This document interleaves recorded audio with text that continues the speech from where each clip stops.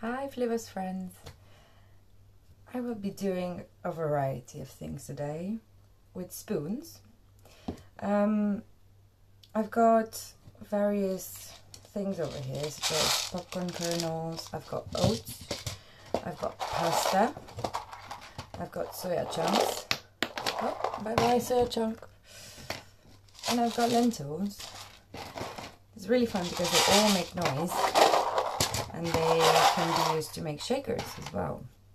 I've got a tall glass, I've got a medium glass, tiny glass and a mug. And I've got a variety of spoons. Spoons with holes, spoons without holes, tiny spoon, normal spoon, long spoon, wooden spoon.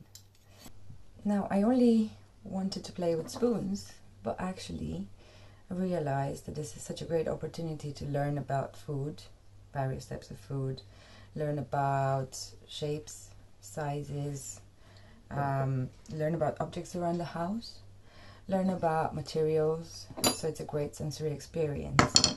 Um, but on this occasion, I can actually do some scooping. So I will try to scoop some oats and put them in my little glass. Now children might use a smaller spoon to do that. So this is actually another opportunity to learn about matching um, as this might not fit inside. Or oh, it does actually, but the wooden spoon might not. So they might realize various things. Um, and yeah, maybe a bit of balancing with these. You can use um, cherry tomatoes instead. And yeah try scooping and sorting and matching and have fun